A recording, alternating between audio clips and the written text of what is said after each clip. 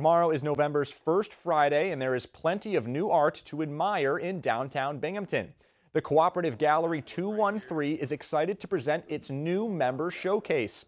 The gallery has grown by six new young artists, including Rebecca Austin, Gabe Morton Cook, Natalie Dadamio, Mary Markovich, Daniette Mateo, and Emily O'Reilly. You can see their art throughout the month of November, along with the work of John Luongo and Ken Weir. Member of the Cooperative Gallery, Bill Gorman, says that the new members bring along an energy and talent that uplifts everyone.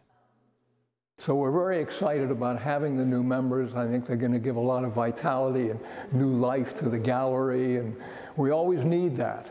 So we feel very lucky we found a group of six very talented artists. So uh, it's a special month. Luongo's show is called Saints and Other Works and features members of the gallery depicted as Catholic saints, such as St. Jude or St. Francis. Weir's exhibit is titled Betrayal at the Amusement Park and showcases many still lifes with unique patterns. First Friday takes place tomorrow at the Cooperative Gallery from 5 to 9 p.m.